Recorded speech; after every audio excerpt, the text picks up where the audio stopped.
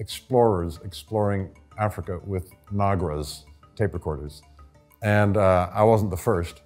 Uh, I think Mick Fleetwood did a tour of Africa to find the rhythm. You know, it's sort of a pilgrimage. It's sort of like a, a for drummers. Actually, the roots of our culture comes from Africa. You know, the most important, uh, you know, American cultural statement that is only American, that is fully American. You know, they got Shakespeare, they got Goethe, you know, we got our music, which comes ultimately from Africa.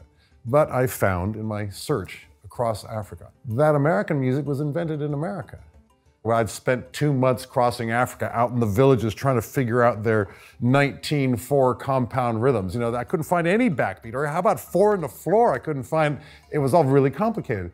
Uh, and the different regions have different versions of complication.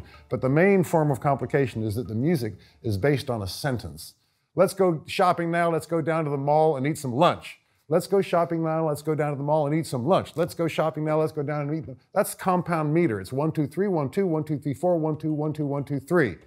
Because it's a sentence in whatever their particular regional dialect might be. So the music is very complicated. There's no four on the floor like that uh, until my night in jail in Kinshasa. Was a, a, small visa infraction. I wasn't gun running or anything sexy like that. But they threw us in the clinker overnight, where I heard coming over the radio of the soldiers uh, this music, Lingala, actually kind of sung in a French patois. But it's kind of four on the floor, blues chords played on electric guitar, and the guys singing in a completely African style but the tools in their hands came from here. But they didn't care about where it had been. It came back and they're all dancing to it.